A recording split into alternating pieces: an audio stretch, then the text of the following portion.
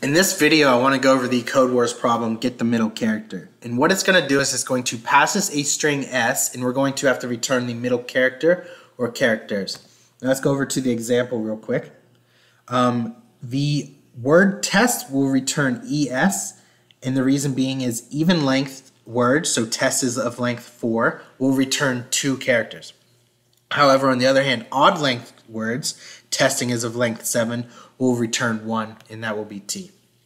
Now, the first thing we're going to want to do in this problem, obviously, is to get the length of the word, and this is so we can determine whether the length of our word is even or odd.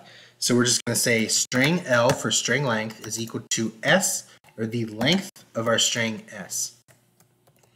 From here, we need to determine if it's even or odd, and we can do this by first checking if it's even by saying if the string L, or the length of our string, modulus 2 is equal to 0, and all the modulus operator does is it returns the remainder once the number in front of the modulus operator is divided into this number as many times as possible. So say this was uh, 25, it would divide into it 12 times and it would return the remainder, which would be 1. If it is an even number, the remainder will always be 0, meaning that this number, or this number in question, is even.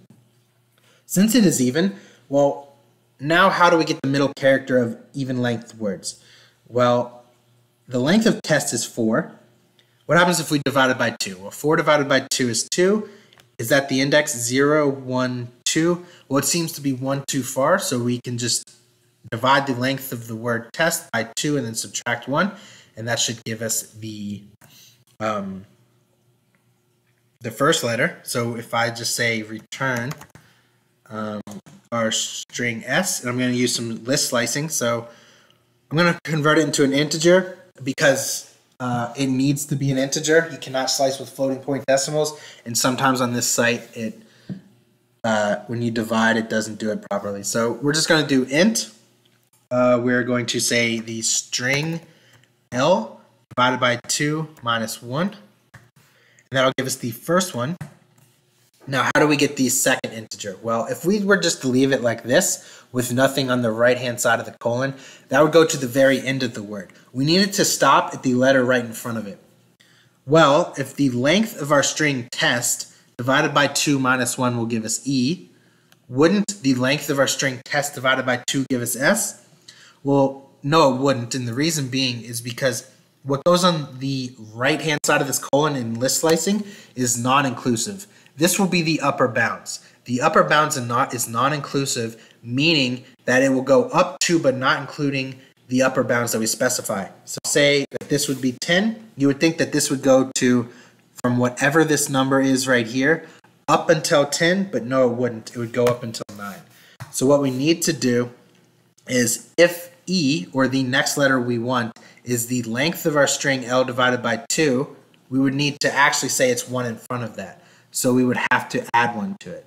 So if we would do this, copy it, paste, instead of subtracting 1, we would add 1. And it's all just because the non-inclusivity of list slicing, or of the upper bounds. Now we've gotten the middle character of even length strings. We do not need an else statement to say else if the string modulus 2 does not equal to 0 because if the string is not even, it has to be odd. It can either be even or odd. And if it is not even, we're just going to return S. And we're not going to use list slicing. We're going to just add uh, one single integer in here since odd length characters only need to return 1. And how are we going to do this? The length of testing is 7. If we divide 7 by 2, that'll give us 3.5. You cannot index a list or an array with floating point decimals. So we need to shave off that 0.5. We can convert the floating point decimal of 3.5 into an integer, and it'll turn that 3.5 into 3. And if we check 0, 1, 2, 3, that'll be perfect for odd length uh, words. So all we have to do is we're going to use the int method to convert it into an integer, the floating point decimal, we'll say string L uh, divided by 2. And this should work. So let's test it. 5 pass, let's attempt it.